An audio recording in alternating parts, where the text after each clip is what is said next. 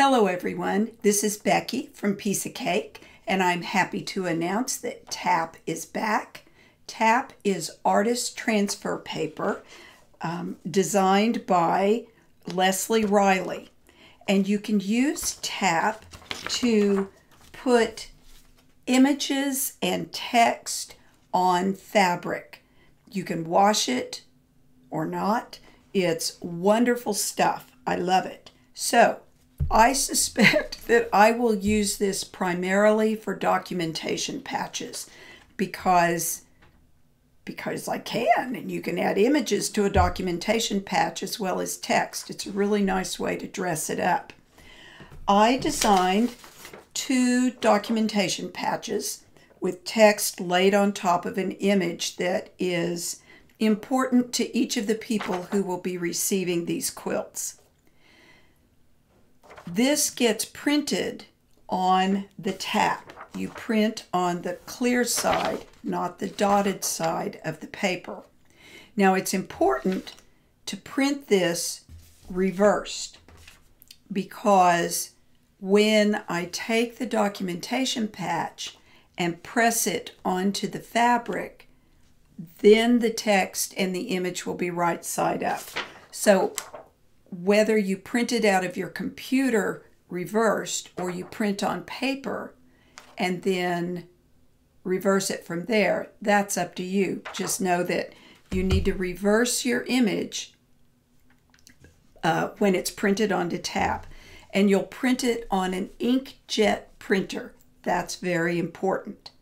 Then you read the instructions because you can put this on more than just fabric and those instructions are included with the product. I am interested in putting this on fabric. So I have my iron. This is my Oliso travel iron. It will actually be really good for this.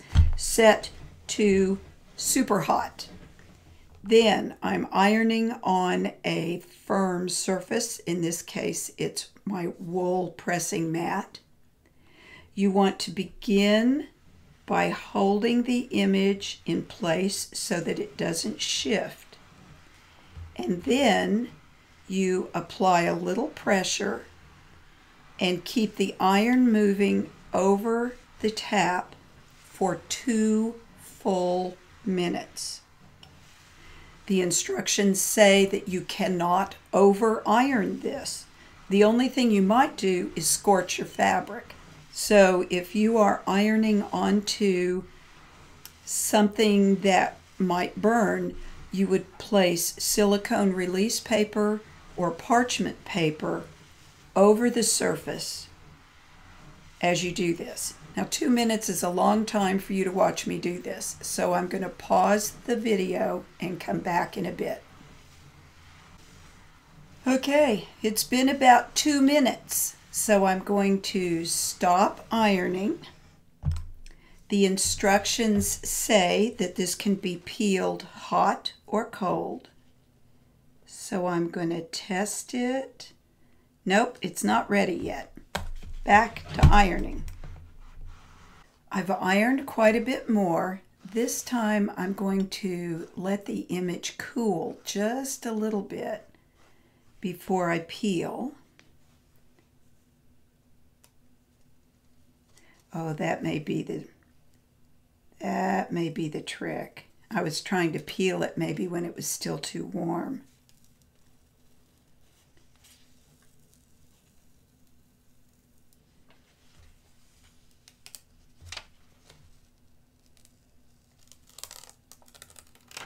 There we go. So all of the polymer is now on the fabric laying over the inkjet part of this. The instructions say that the finer the weave of the fabric, the uh, crisper the image will be. This is just a straight up cotton off the bolt.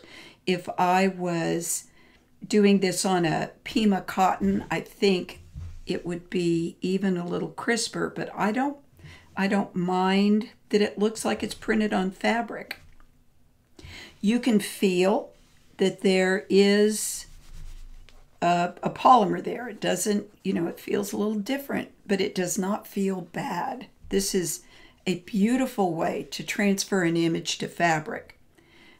All right, other things to pay attention to. Anything in your image that is white will transfer as clear onto the uh, onto the fabric. So white, uh, if you're printing this on a darker fabric or a fabric with texture, that's going to shadow through white areas as it does here. This is a sample that Lesley gave me and you can see that the print, the white on white print in the fabric transfers through the image, which is a very nice look. All right, what else do we need to know? I don't think anything. This is a dandy, dandy product. Um, I look forward to using it a lot. I'm sure you can see many uses yourself for this uh, artist transfer paper.